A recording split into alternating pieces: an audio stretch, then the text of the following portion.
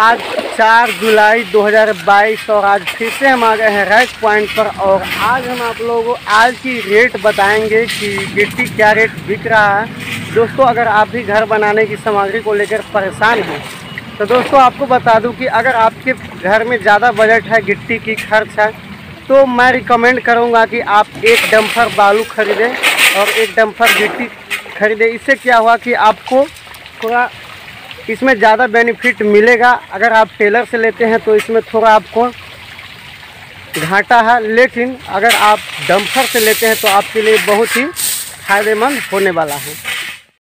तो दोस्तों, यहाँ पर आप देख सकते हैं, ये 300 सौ का डम्फर है और जो कि अभी अभी लोड हुआ है और यहाँ पे इसे सरियाया जा रहा है। दोस्तों, अगर 300 सौ गिट्टी खरीदते हैं तो आपको बार बार जाने की ज़रूरत नहीं। अगर आप दो या तीन रूम बना रहा है तो दो से तीन डम्फर अगर आप गिट्टी खरीदते हैं तो आपको पूरा काम हो जाएगा।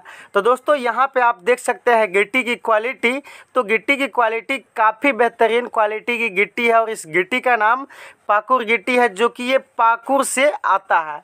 और यहाँ पर आप देख सकते हैं काफ़ी बढ़िया साइज़ है मीडियम साइज़ की है, जो कि घर बनाने में काफ़ी मजबूती साबित होता है। और दोस्तों, बात करें इस गिट्टी की आज का प्राइज़ की तो आज ग्यारह हज़ार पाँच सौ रुपये प्रति सौ सी के दर से बिक रहा है।